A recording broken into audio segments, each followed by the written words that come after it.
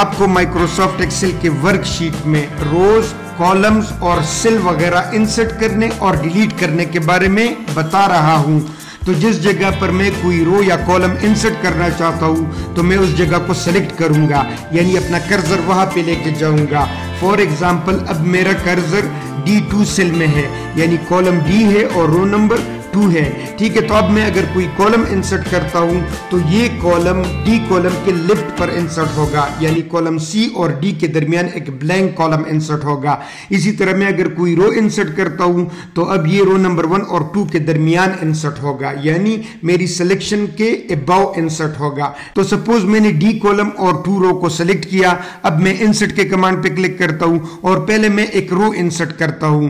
تو میں اس کے لیے انسرٹ شیٹ روز کے کمانڈ کو سلیکٹ کرتا ہوں تو اب آپ دیکھ سکتے ہیں کہ رو نمبر ون اور ٹو کے درمیان ایک بلینک رو انسرٹ ہو گئی ہے میں اس کو کنٹرول زیڈ سے انڈو کرتا ہوں اب میں ایک کولم انسرٹ کرتا ہوں تو یہ ایک بلینک کولم کولم سی اور ڈی کے درمیان انسرٹ ہوگا یعنی میرے سلیکشن کے لیفٹ پر ایک کولم انسرٹ ہوگا تو اس کے لیے میں دوبارہ انسرٹ کے کمانڈ پہ کلک کرتا ہوں اور انسرٹ شیٹ کولم کے کمانڈ کو سلیکٹ کرتا ہوں تو اب آپ دیکھ سکتے ہیں کہ کولم سی اور ڈی کے درمیان ایک اور بلینک کولم انسرٹ ہو گیا ہے کولم ڈی کولم ای ہو گیا ای ایف e, ہو گیا ایف جی ہو گیا اور اسی طرح آگے۔ اب میں اس کو کنٹرول زیڈ سے انڈو کرتا ہوں۔ اس کے علاوہ میں اگر کوئی کولم یا رو انسرٹ کرنا چاہوں، تو اس کے لیے اگر میں متعلقہ کولم یا رو پر رائٹ کلک کرتا ہوں، تو بھی میں انسرٹ کر سکتا ہوں۔ فور ایگزامپل میں اگر ای اور ڈی کولم کے درمیان ایک اور کولم انسرٹ کرنا چاہوں، تو اس کے لیے میں e ای کولم پر رائٹ کلک کروں گا اور پھر انسرٹ کا کمانڈ سلیکٹ کروں گا۔ تو اب آپ دیکھ سکتے ہیں کہ ای اور ڈی کے درمیان ایک نیا کولم انسرٹ ہو گیا۔ ہے، ای ایف ہو گیا ہے، ایف جی ہو گیا ہے اور جی ایچ ہو گیا ہے، وغیرہ وغیرہ۔ اب میں اس کو دوبارہ کنٹرول زیڈ سے انڈو کرتا ہوں۔ سپوز میں ڈی اور سی کے درمیان تین کالمز ایڈ کرنا چاہتا ہوں، تو اس کے لیے میں پھر تین کالمز کو سلیکٹ کروں گا۔ اور اس پہ پھر میں رائٹ کلک کروں گا اور انسرٹ کا کمانڈ سلیکٹ کروں گا۔ تو اب آپ دیکھ سکتے ہیں کہ تین بلینک کالم انسرٹ ہو گئے ہیں۔ یعنی میں جتنے کالم سلیکٹ کروں گا، اتنی ہی کالمز انسرٹ ہوں گے۔ میں اس کو دوبارہ کنٹرول زیڈ سے انڈو کرتا ہوں۔ سپوز اب میں میں رو نمبر ٹو اور تھری کے درمیان ایک رو انسرٹ کرنا چاہتا ہوں۔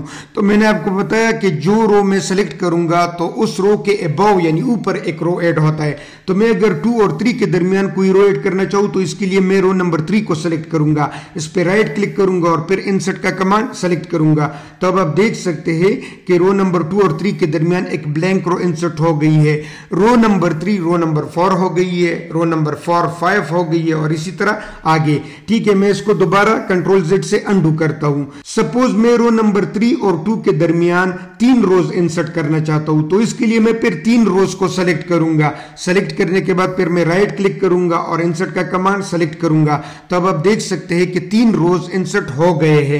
میں اس کو دوبارہ کنٹرول زیڈ سے انڈو کرتا ہوں۔ تو مطلب یہ کہ آپ جتنے کالمز یا روز سلیکٹ کریں گے اور پھر انسرٹ کا کمانڈ اپلائی کریں گے، تو پھر آپ کے سلیکشن کے تعداد کے مطابق کالمز یا رو انسرٹ ہوں گے۔ اور یہ بات بھی یاد رکھے کہ کالمز ہمیشہ آپ کے سلیکشن کے لیفٹ پر انسرٹ ہوتے ہیں اور روز ہمیشہ آپ کے سلیکشن کے اباؤ انسرٹ ہوتے ہیں۔ اب میں آپ کو ڈیلیٹ کمانڈ کے بارے میں بتاتا ہوں۔ سپوز میں یہ کالم ڈی ڈیلیٹ کرنا چاہتا ہوں، تو میں نے کالم ڈی کو سلیکٹ کیا اور پھر میں ڈیلیٹ کا کمانڈ سلیکٹ کرتا ہوں۔ تو اب دیکھیے یہاں پر یہ ڈیلیٹ شیٹ کالم کا کمانڈ ایکٹو ہے، میں اگر اس کو سلیکٹ کرتا ہوں تو وہ کالم ڈیلیٹ ہو گیا۔ اب میں اس کو دوبارہ انڈو کرتا ہوں۔ سپوز میں دو یا تین کالمز ڈیلیٹ کرنا چاہتا ہوں تو میں وہ کالم سلیکٹ کروں گا۔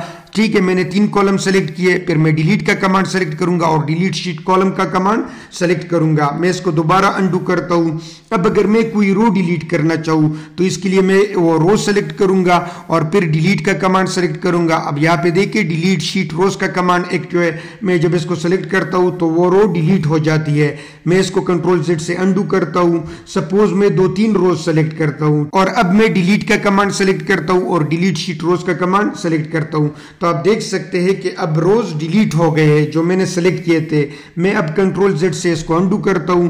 اس کے علاوہ میں اگر کسی کالم پر رائٹ کلک کروں اور ڈیلیٹ کا کمانڈ سلیکٹ کروں تو وہ بھی میں ڈیلیٹ کر سکتا ہوں۔ اگر میں کئی کالم ڈیلیٹ کرنا چاہوں تو میں ان کالموں کو سلیکٹ کروں گا، پھر رائٹ کلک کروں گا اور ڈیلیٹ کا کمانڈ سلیکٹ کروں گا۔ تو آپ دیکھ سکتے ہیں کہ اس طرح کالم ڈیلیٹ ہو رہے ہیں۔ اسی طرح میں اگر رو ڈیلیٹ کرنا چاہوں تو میں روز کو سلیکٹ کروں گا۔ جتنے روز میں ڈیلیٹ کرنا چاہتا ہوں، پھر رائٹ کلک کروں گا اور ڈیلیٹ کا کمانڈ سلیکٹ کروں گا۔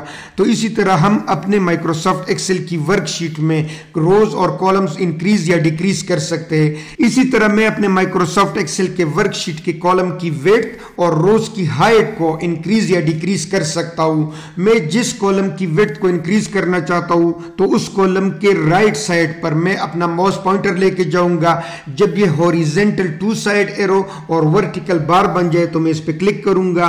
کلک کرنے کے بعد پھر میں اس کو ڈریک کر کے اس کی ویٹ کو انکریز یا ڈیکریز کر سکتا ہوں ٹھیک ہے فار ایگزامپل میں اگر بی کالم کی ویٹ کو انکریز کرنا چاہوں تو میں اپنا ماؤس پوائنٹر بی کالم کے رائٹ سائڈ پر لے کے آؤں گا اینڈ پہ اور پھر جب یہ horizontal arrow two side arrow اور ورٹیکل بار بن جائے تو میں اس پہ کلک کروں گا اور اس کو ہولڈ رکھوں گا اور اس کو ڈریک کروں گا۔ اسی طرح میں اگر کسی رو کی ہائٹ کو انکریز یا ڈیکریز کرنا چاہوں تو جس رو کی ہائٹ کو میں انکریز یا ڈیکریز کرنا چاہتا ہوں، اس رو کے باٹم پر میں اپنا ماؤس پوائنٹر لے کے جاؤں گا۔ جب یہ ورٹیکل ٹو سائڈ ایرو اور ہوریزنٹل بار بن جائے تو میں اس پہ کلک کروں گا اور پھر اس کو ہولڈ رکھوں گا اور اس کو اسی طرح نیچے یا اوپر ڈریک کروں گا۔ ٹھیک ہے اسی طرح میں کالم کی ویٹ کو اور روز کی ہائٹ کو انکریز یا ڈیکریز کر سکتا ہوں۔ اس کے علاوہ میں اگر کسی کالم کو سلیکٹ کروں سپوز میں نے کالم اے کو سلیکٹ کیا اور پھر میں فارمیٹ کے کمانڈ پہ کلک کرتا ہوں اور یہاں سے میں کالم ویٹ کا کمانڈ سلیکٹ کرتا ہوں، ٹھیک ہے؟ تو یہاں سے بھی میں اپنے کالم کی ویٹ کو انکریز یا ڈیکریز کر سکتا ہوں۔ اب یہ 12.5 ہے سپوز میں یہ ٹائپ کرتا ہوں 20 اور اس کو اوکے کرتا ہوں۔ تو آپ دیکھ سکتے ہیں کہ کالم کا ویٹ انکریز ہو گیا ہے۔ اسی طرح میں اگر رو کی ہائٹ کو انکریز کرنا چاہوں تو میں اس رو کو سلیکٹ کروں گا۔ سپوز میں یہ دو تین رو سلیکٹ کرتا ہوں اور اب میں دوبارہ فارمیٹ کے کمانڈ پہ کلک کرتا ہوں رو ہائٹ کا کمانڈ سلیکٹ کرتا ہوں اور اب دیکھیں یہ پہ رو کا جو ہائٹ ہے وہ 16 ہے۔ میں اگر اس کو 25 رکھتا ہوں اس کو اوکے کرتا ہوں، تو آپ دیکھ سکتے ہیں کہ ان تین روز کی ہائٹ انکریز ہو گئی ہے۔ اسی طرح میں اس کو ڈیکریز بھی کر سکتا ہوں۔ اب سپوز میں کولم سی کی ویٹ کو ڈیکریز کرتا ہوں، یہاں سے میں کم کرتا ہوں۔ ٹھیک ہے، تو اب دیکھیے فادر نیم کا جو فونٹ سائز ہے وہ کم ہو گیا ہے۔ میں چاہتا ہوں کہ نہیں، یہ سائز ریسٹور ہو ہو جائے اور آٹومیٹکلی اس کالم کا ویٹ جو ہے وہ آٹو فٹ ہو جائے۔ تو میں اس کالم کو سلیکٹ کروں گا فارمیٹ کا کمانڈ سلیکٹ کروں گا اور پھر آٹو فٹ کالم ویٹ کا آپشن سلیکٹ کروں گا تو اب آپ دیکھ سکتے ہیں کہ یہ کالم ایکسپینڈ ہو گیا ہے۔ یعنی اب یہ اس ٹیکسٹ کے ویٹ کے ساتھ میچ کر گیا ہے۔ تو آٹو فٹ کالم ویٹ کا جو کمانڈ ہے، یہ بہت امپورٹنٹ ہے۔ اسی طرح سپوز میں اس رو کی ہائٹ کو تھوڑا سا ڈیکریز کرتا ہوں، پھر میں اس رو کو سلیکٹ کرتا ہوں فارمیٹ کا کمانڈ سلیکٹ کرتا ہوں اور یہاں سے میں آٹو فٹ رو ہائٹ کا آپشن سلیکٹ کرتا ہوں. تو اب آپ دیکھ سکتے ہیں کہ رو کی ہائٹ انکریز ہو گئی ہے. یہ ٹیکسٹ کے مطابق ہو گئی ہے. تو بہتر یہ ہوگا کہ آپ پھر اس کمانڈ کو اپلائی کریں. یعنی آٹو فٹ رو ہائٹ اور آٹو فٹ کولم ویٹ اسی طرح میں اگر کسی کولم یا رو کو ہائٹ یا ان ہائٹ کرنا چاہوں تو وہ بھی میں کر سکتا ہوں. سپوز میں بی کولم کو سلیکٹ کرتا ہوں. فارمیٹ کے کمانڈ پہ کلک کرتا ہوں اور یہاں پر ہائٹ اینڈ ان ہائٹ کے کمانڈ پر اپنا ماؤس پوائنٹر لے کے جاتا ہوں.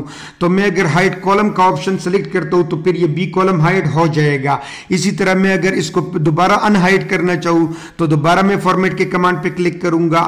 ہائٹ ان ہائٹ کے کمانڈ پر اپنا ماؤس پوائنٹر لے کے جاؤں گا اور یہاں پر میں ان ہائٹ کولم کا کمانڈ سلیکٹ کروں گا۔ تو آپ دیکھ سکتے ہیں کہ یہ دوبارہ ان ہائٹ ہو گیا ہے۔ اسی طرح سپوز میں یہ تین رو ہائٹ کرنا چاہتا ہوں تو میں نے ان تین روز کو سلیکٹ کیا فارمیٹ کے کمانڈ پہ کلک کیا ہائٹ ان ہائٹ کے کمانڈ پر اپنا ماؤس پوائنٹر لے کے گیا اور یہاں پر میں ہائٹ رو کا کمانڈ سلیکٹ کروں گا۔ گا۔ تو اب یہ تین روز ہائٹ ہو گئے۔ اگر میں دوبارہ ان روز کو ان ہائٹ کرنا چاہوں تو میں ان کو سلیکٹ کروں گا فارمیٹ کے کمانڈ پہ کلک کروں گا ہائٹ ان ان ہائٹ کے کمانڈ پر اپنا ماؤس پوائنٹر لے کے جاؤں گا اور یہاں پر میں ان ہائٹ روز کا کمانڈ سلیکٹ کروں گا۔ تو اب دیکھیے یہ ان ہائٹ ہوں گے۔ اسی طرح سپوز میں ایک نیا شیٹ انسرٹ کرتا ہوں اور اب میں اس شیٹ میں کچھ ڈیٹا انسرٹ کرتا ہوں، لیکن میں پھر اس کو ہائٹ کرنا چاہتا ہوں۔ تو میں اس شیٹ کو سلیکٹ کروں گا فارمیٹ کے کمانڈ پہ کلک کروں گا ہائٹ ان ہائٹ کے کمانڈ پر اپنا ماؤس پوائنٹر لے کے جاؤں گا اور ہائٹ شیٹ کا کمانڈ سلیکٹ کروں گا، تو اب یہ شیٹ ہائٹ ہو گیا ہے۔ اگر میں اس کو دوبارہ ان ہائٹ کرنا چاہوں، تو میں دوبارہ فارمیٹ کے کمانڈ پہ کلک کروں گا۔ ہائٹ ان ہائٹ کے کمانڈ پر اپنا ماؤس پوائنٹر لے کے جاؤں گا اور یہاں پر میں ان ہائٹ کا کمانڈ سلیکٹ کروں گا۔ تو یہ مجھے بتا رہا ہے کہ آپ کون سی شیٹ کو ان ہائٹ کرنا چاہتے ہیں۔ تو میرے اس شیٹ کا نام ہے شیٹ فور میں نے اس کو سلیکٹ کیا اور اوکے کیا۔ تو اب یہ شیٹ ان ہائٹ ہو گیا ہے۔ اسی طرح سپوز میں اس شیٹ کو رینیم کرنا چاہتا ہوں۔ تو میں اگر اس پہ رائٹ کلک کرتا ہوں اور رینیم کا کمانڈ کمانڈ سلیکٹ کرتا ہوں تو یہاں سے بھی میں اس کو رینیم کر سکتا ہوں ڈیلیٹ بھی کر سکتا ہوں۔ ٹھیک ہے موو اور کاپی بھی کر سکتا ہوں، ایک جگہ سے دوسری جگہ۔ لیکن میں اگر اس شیٹ کو سلیکٹ کروں فارمیٹ کے کمانڈ پہ کلک کروں، تو یہاں سے بھی میں اس شیٹ کو رینیم کر سکتا ہوں۔ اس کو موو یا کاپی بھی کر سکتا ہوں اور اس کو پروٹیکٹ بھی کر سکتا ہوں کسی شیٹ کو۔ فار ایگزامپل میں اگر شیٹ نمبر ون کو پروٹیکٹ کرنا چاہوں تو میں نے اس پہ کلک کیا۔ اب دیکھیے، یہاں پر یہ مجھ سے پاسورڈ مانگ رہا ہے۔ تو سپوز میں اس کو پاسورڈ دیتا ہوں ون ٹو تھری اس کو دوبارہ یہاں پہ میں ری ویریفائی کروں۔ کروں گا یعنی دوبارہ ون ٹو تھری ٹائپ کروں گا یہاں پر میں وہ پیرامیٹر دے سکتا ہوں جن کے لیے میں اپنی شیٹ کو پروٹیکٹ کر سکتا ہوں۔ تو میں اس کو اوکے کرتا ہوں۔ اب دیکھیے اس پہ لاک ہے، ٹھیک ہے؟ میں اگر اس میں کوئی انٹری کرنا چاہوں تو دیکھیے، مجھ سے یہ پاسورڈ مانگ رہا ہے۔ میں اگر اس شیٹ پہ رائٹ کلک کروں اور ان پروٹیکٹ شیٹ کا کمانڈ سلیکٹ کروں تو یہاں سے بھی کر سکتا ہوں۔ اگر میں یہاں سے نہ کرنا چاہوں تو پھر میں فارمیٹ کے کمانڈ پہ کلک کروں گا اور ان پروٹیکٹ شیٹ کا کمانڈ سلیکٹ کروں گا اور یہاں پر میں وہ پاسورڈ دوں گا، جو میں نے اس کے لیے اسائن کیا ہے۔ یعنی ون ٹو تھری میں اس کو اوکے کرتا ہوں تو دیکھیے وہ لاک کا سائن جو ہے ختم ہو گیا ہے۔ اسی طرح میں اگر اس شیٹ کو یہاں پہ موو کرنا چاہوں تو میں اگر اس پہ کلک کروں، اس کو ہولڈ رکھوں اور اس کو یہاں پہ ڈریک کروں تو یہ دیکھیے یہاں پہ موو ہو گیا ہے۔ لیکن اگر میں کسی شیٹ پہ رائٹ کلک کروں اور پھر موو اور کاپی کا کمانڈ سلیکٹ کروں تو اس سے بھی میں پھر اپنی شیٹس کو لیفٹ رائٹ موو کر سکتا ہوں۔ فار ایگزامپل اب یہاں پر یہ مجھے آپشن دے رہا ہے کہ آپ شیٹ نمبر ون کو کہاں پہ لے کے جانا چاہتے ہیں؟ تو میں یہاں پہ آپشن دیتا ہوں کہ اس کو شیٹ نمبر فور سے پہلے رکھیں۔ تو میں اس کو اوکے کروں گا، ٹھیک ہے؟ تو اب دیکھیے، دوبارہ اس جگہ پہ آ گیا ہے۔ یعنی میں اگر کلک اینڈ ڈریک کے ذریعے اس کو موو کرنا چاہوں تو بھی کر سکتا ہوں۔ اور اگر میں اس پہ رائٹ کلک کروں اور موو اور کاپی کا کمانڈ سلیکٹ کروں تو اس کے ذریعے بھی میں کر سکتا ہوں۔ اس کے علاوہ میں اگر فارمیٹ کے کمانڈ پہ کلک کرتا ہوں اور موو اور کاپی شیٹ کا کمانڈ سلیکٹ کرتا ہوں تو اس سے بھی میں اپنی شیٹ کو موو کر سکتا ہوں یا کاپی کر سکتا ہوں۔ تو امید ہے ڈیئر ویور آپ مائکروسافٹ ایکسل میں انسرٹ ڈیلیٹ اور فارمیٹ کے کمانڈ کے بارے میں جان گئے ہوں گے۔ سٹے ٹیون کیونکہ آنے والی ویڈیوز میں میں آپ کو مزید امپورٹنٹ کمانڈز کے بارے میں بتاؤں گا۔ Thank you very much